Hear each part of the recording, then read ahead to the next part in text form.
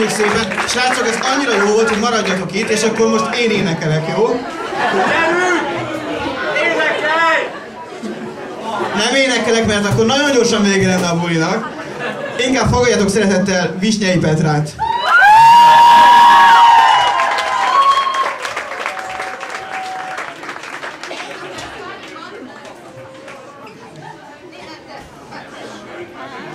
Thank you.